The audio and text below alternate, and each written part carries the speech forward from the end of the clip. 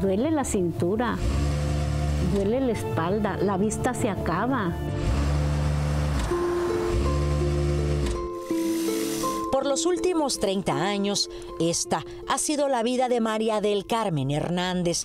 La aguja y la tela son su sustento. Una historia que empezó cuando quedó embarazada. Si yo hubiera seguido estudiando, yo hubiera escogido ese camino como diseñadora o algo así.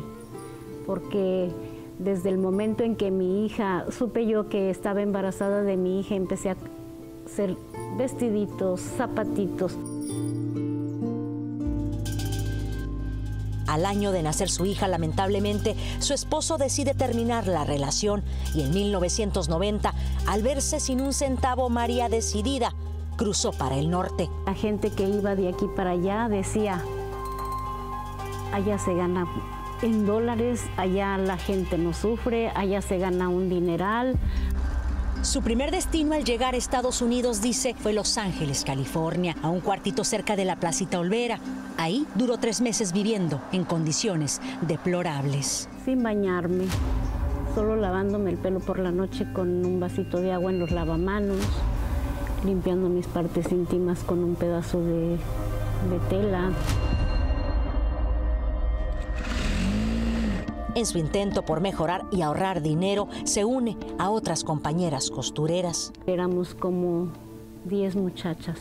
Un baño, una cocinita, un closet y, y ahí dormíamos, nos acomodábamos.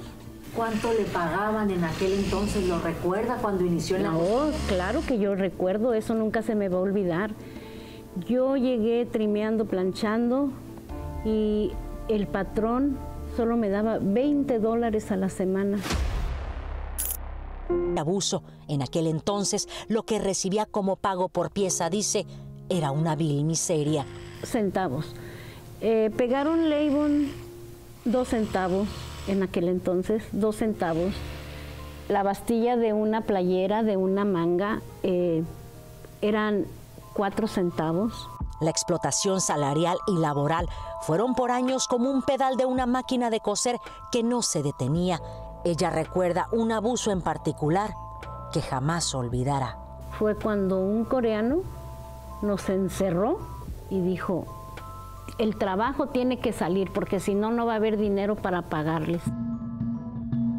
Hartas de la explotación textil, María y cientos de trabajadores más vencieron su miedo, alzaron su voz y de la mano de la senadora María Elena Durazo comenzaron una larga batalla.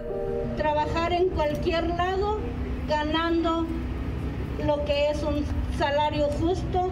Y en medio de la pandemia luchamos, fuimos a Sacramento, anduvimos con la senadora Durazo, hicimos marchas, hicimos todo y yo siempre decía, hay una luz de esperanza.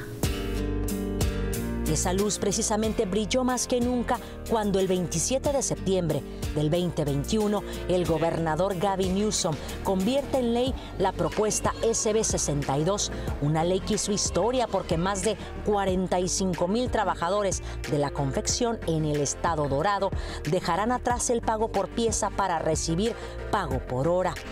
Hoy María del Carmen Hernández dice estar cansada, pero muy agradecida. Yo llevo 30 años en la costura y, y mis manos son estas. Mi vejez es esta. Toda una vida aquí, 30 años, cosiendo sueños.